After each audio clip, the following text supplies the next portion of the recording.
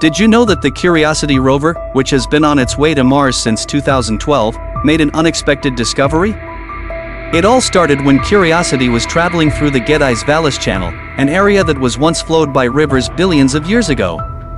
The rocks in this place contain traces of its wet past, which is why researchers are meticulously examining every formation in this place.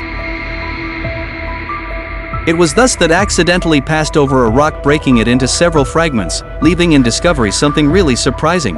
At the core of this rock were yellow fragments. NASA quickly analyzed the composition of this material, and the result was that it was pure elemental sulfur, which is very rare even here on Earth. A scientist from the Curiosity Project has mentioned that finding a field of rocks made of pure sulfur is like finding an oasis in the desert. The truth is that it should not be there, so now it is time to try to find an explanation. In the first hypothesis, NASA explains that the sulfur could have originated by unknown chemical reactions on Mars, or even by processes involving microorganisms in the past. But more studies are still needed to confirm this hypothesis. Definitely a great discovery that will help us to understand the history of this planet.